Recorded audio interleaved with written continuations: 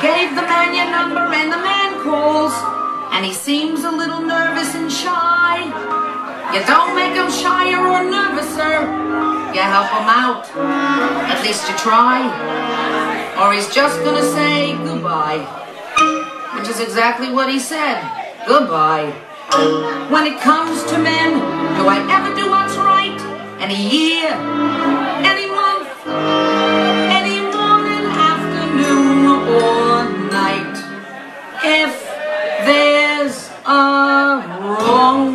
to say it, a wrong way to play it, nobody does it like me. If there's a wrong way to do it, a right way to screw it up.